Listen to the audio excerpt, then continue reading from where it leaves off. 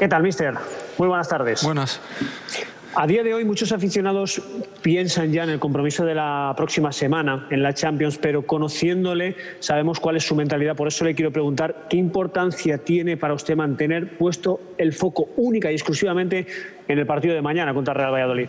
Bueno, esto está clarísimo. Nosotros, si, no, si nosotros pensamos ya el miércoles, nos equivocamos. Y no creo que los jugadores van a pensar el miércoles. Pensamos que tenemos un partido mañana de liga y es lo más importante para llegar eh, bien eh, para el resto. Entonces, mañana tenemos un partido de liga. Y, nosotros nos vamos a concentrar porque además hicimos una muy buena, muy buena semana eh, y ahora hay que, hay que demostrar mañana en el campo lo que, lo que hicimos toda la semana. Juanma Sánchez, Radio Nacional. Hola, buenas tardes. Juanma Sánchez, de, en directo en el vestuario de Radio 5, de Radio Nacional. No ha entrenado Karim Benzema con el grupo, ha estado en el interior de las instalaciones. ¿Qué le ocurre a, Benzema? Supongo que es baja para mañana, pero podrá estar disponible para el miércoles en Champions. Gracias. Sí, no va a estar Karim eh, mañana con, nosotros. Tiene una molestia y tiene algo y como siempre, bueno, como surgió ayer, eh, para mañana no va a estar con nosotros.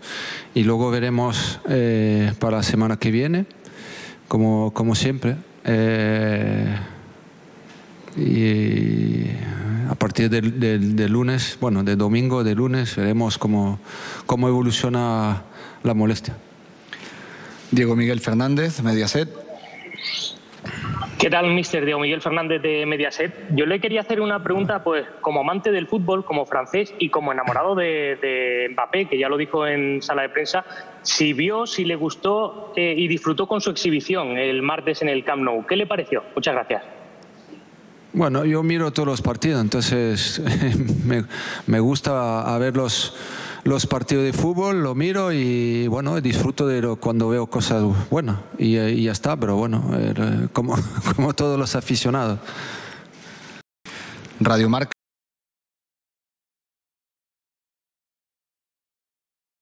Radio Marca. Hola. Eh, se ha hablado mucho en, en los últimos meses de de las renovaciones o no renovaciones de Sergio y de, y de Lucas. Eh, usted dijo que, molestaba y que, bueno, que, era más complicado el hecho de que no se hayan solventado esas eh, renovaciones. Eh, el hecho de que se hable de, futuros fichajes como Mbappé, como Haaland, como Alaba, ¿molesta más dentro del vestuario? ¿Cabrea más a un jugador el hecho de que piense, oye, para mí no hay, pero para los de fuera sí?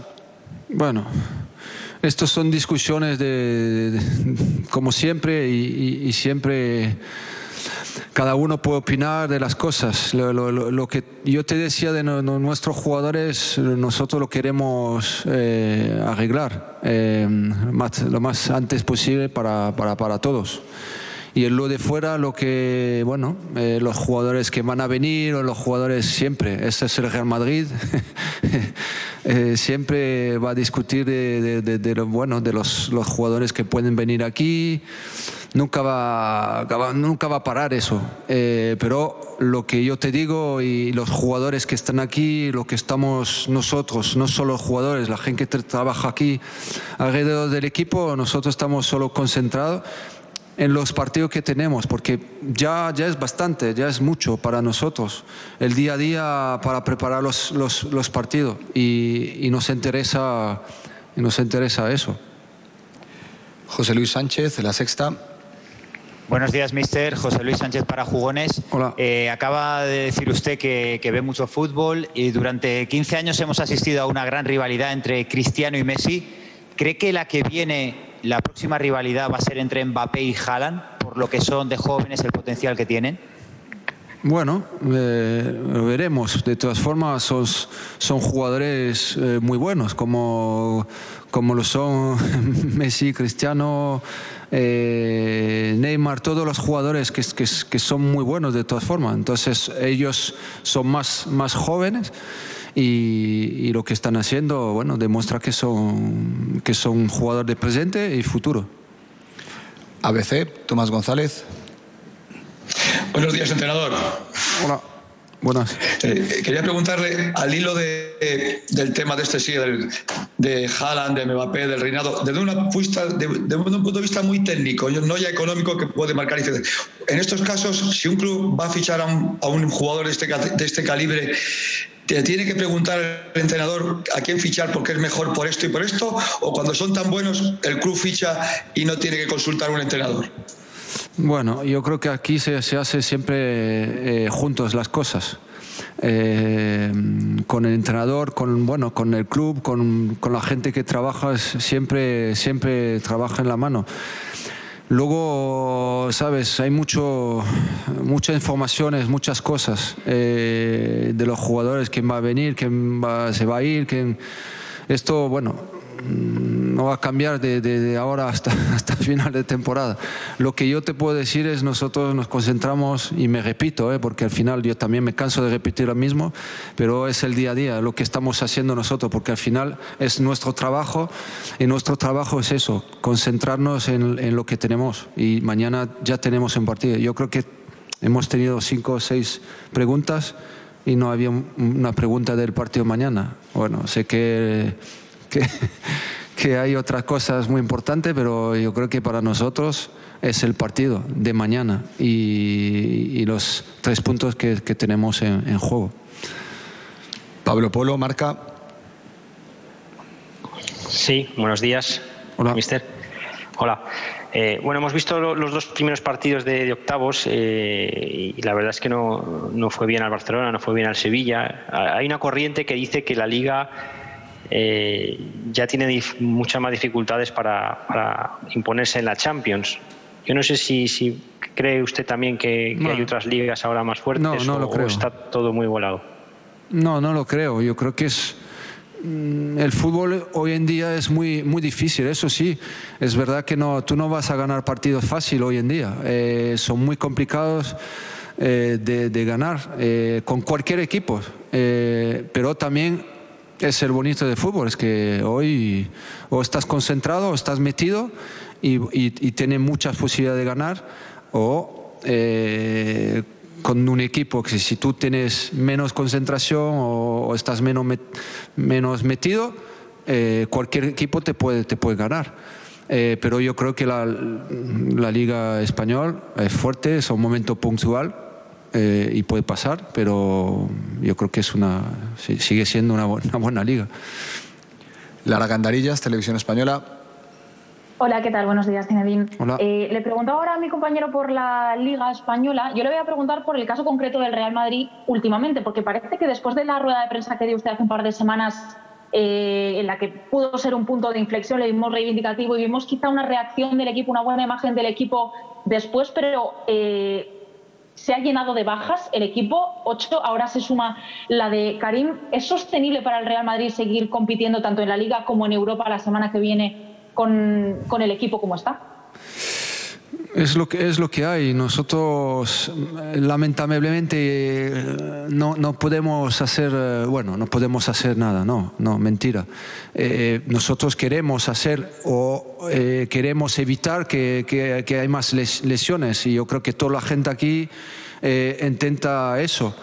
pero luego hay muchos factores y, y bueno, es verdad que últimamente eh, no, no, nos acompañan eh, tener a nuestros nuestros jugadores eh, en mejor nivel y hay muchos lesionados. Hoy otra vez con la lesión de, de Karim.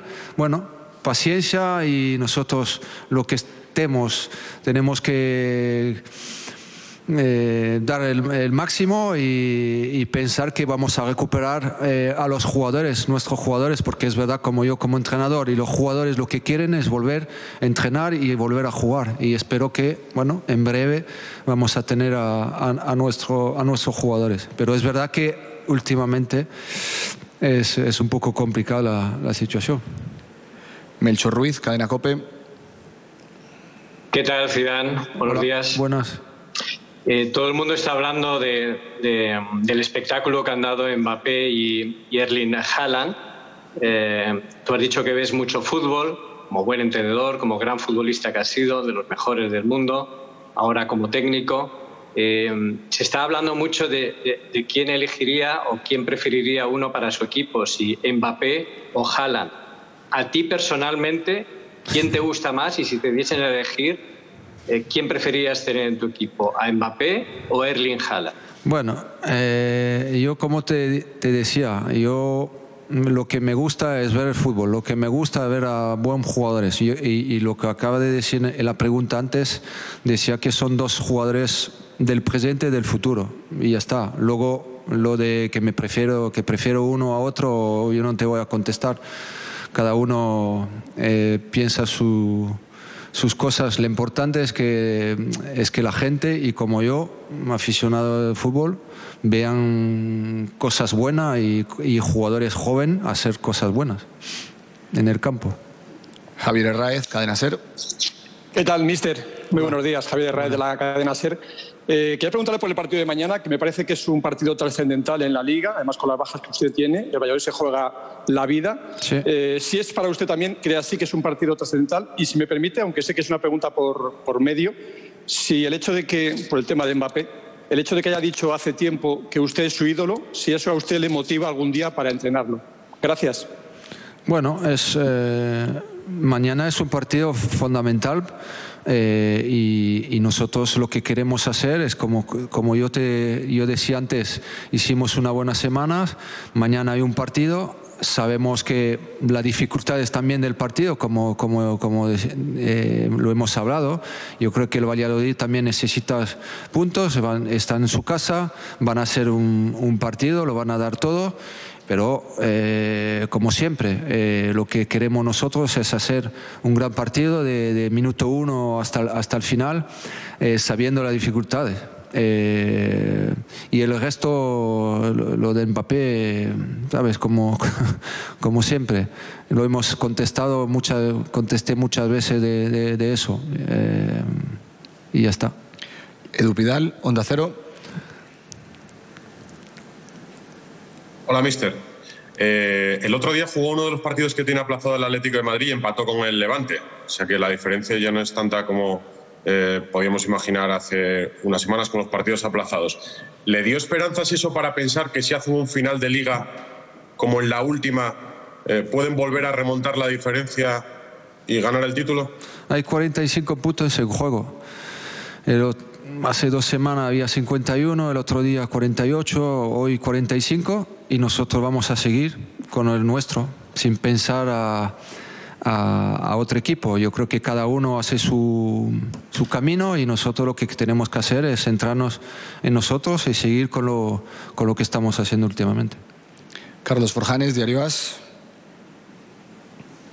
Hola, ¿qué tal, mister? Buenos días. Hola. Eh, justamente esto que acaba de decir usted es un poco el discurso que le íbamos escuchando estas últimas semanas, pero usted que ha estado ahí sobre el terreno del juego tantas veces, eh, mm, sinceramente no, le, no, es un estímulo, no es un, impulso de adrenalina ver que una liga que parecía o que se decía que podía estar ya perdida cada vez está un poquito más cerca, ¿no es un estímulo para el futbolista?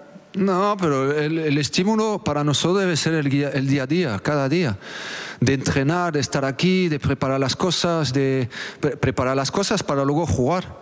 Eso sí, es, es lo que tenemos nosotros de transmitir y tenemos la suerte de, poder estar ahí y, disfrutar cada día y es lo que hacemos. El resto, claro que nosotros vamos a seguir porque de todas formas cada año hay, hay competiciones, hay, bueno, eh, como siempre, eh, ahora nos faltan dos, la Liga y la Champions y nosotros vamos a seguir con esto a, tope, a muerte hasta, hasta, hasta el final de temporada, ya está. El Mundo, Abraham Romero. Hola, mister. Eh, buenos, buenos días. Eh, en 2004, en una visita, en una visita a Valladolid, en 2004, usted hizo eh, una de las mejores jugadas, yo creo, de su carrera. Es un pase de Ronaldo. Usted hace una ruleta, se va del portero y la lanza arriba, la falla. No sé si se acuerda usted de esta jugada, si nos la puede recordar y si es para usted también uno de los mejores no goles de su carrera. No, pero por eso que al final no es gol, entonces no es una jugada buena.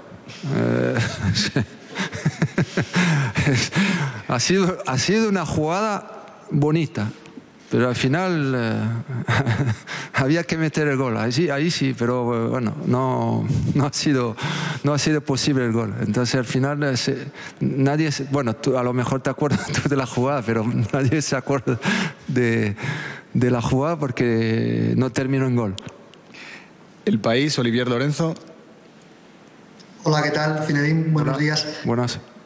El equipo está muy castigado por las bajas, hoy sufre una más, Benzema. Sí. ¿Considera que la baja de Benzema es especialmente insustituible? Bueno, todos los jugadores que se lesionen para nosotros es, es un palo fuerte. Pero claro, sabemos, sabemos Karim, el jugador que es para nosotros. Pero como, como te acaba de decir, eh, ya está lesionado Karim, no, no, va, a estar no va a poder estar mañana con, con nosotros y tenemos que hacer con, con, estas cosas. Tenemos que pensar a, a, lo que van a estar y recuperar, y recuperar en cuanto antes a, a, Karim y a todos los jugadores, claro. Últimas dos preguntas. Gol, Sergio Quirante. Hola, mister, buenas tardes. Hola. Eh, ya ha contestado un montón de preguntas sobre Mbappé y sobre Haaland. Eh, yo quiero eh, decirle que el otro día hubo un movimiento en redes sociales por parte de, aficionados del Real Madrid, supongo que no será ajeno a ello, eh, diciendo Florentino fíchalo, refiriéndose a, Mbappé. Yo sé que usted, aparte de ser entrenador del Madrid, es aficionado del Real Madrid, es hincha. ¿No le mandó usted un WhatsApp al presidente con, también con, ese mensaje, Florentino fíchalo? No, yo no mandé mensaje, no. Y la aficionada tiene derecho a a, a opinar, claro, claro. Última pregunta en francés, RFI, Pierre Chaperon. Bonjour Zinedine. Euh, Bonjour. Moi, je vais encore vous parler de Kylian Mbappé. Euh, quel, quel, regard vous, vous, portez sur sa prestation euh, contre Barcelone? Mbappé. Je sais que vous avez dit que vous avez regardé tous les matchs, mais je pense qu'en tant que Français, has dicho que has mirado vous todos los partidos, particulièrement intéressé par, par sa prestation. Est-ce qu'il fait déjà partie du plus ha interesado des tout meilleurs joueurs de du monde? Mbappé. Est-ce que euh, Piensas que es uno de los mejores eh, jugadores del mundo y te gustaría verle llevar el, que maillot c'est del Real la Madrid, la, prestation la qu'il camiseta. a faite euh, la dernière fois. Et je pense que voilà, tout le monde en Bueno, a parlé. pienso que la prestación ça que surprend hizo en el último personne, enfin, partido ça es surprend maravillosa, aussi. todo el mundo ha J'ai- hablado de ella. J'ai pris du plaisir à, à voir, euh, Eh, voir ce qu'il a me fait, ver lo que hizo, déjà. Mais, euh, mais voilà, c'est bien pour, pour le football. Enfin, J'ai regardé le match comme, un, He un mirado el partido como un aficionado, du plaisir à voir des beaux gestes. Y, euh, et y voilà, lo pasé bien reste, euh, viendo los buenos en. Moi, movimientos c'est- y las bonitas en jugadas. français pour que, pour que ce soit clair pour tout le monde, parce qu'en fait, on ne dit pas, en fait, il le dit en espagnol, Lo il ne le dit pas en français. Moi, ce qui m'importe, plus eh, los voy a decir en francés para que que quede claro, lo he dicho ya en español. Demain, parce qu'on a un match très Eh, important. Lo que tenemos que hacer mañana de- es que es muy importante, es un partido muy de- importante y el resto de- de- lo de miramos con mucha atención y mucho placer, la verdad. Gracias.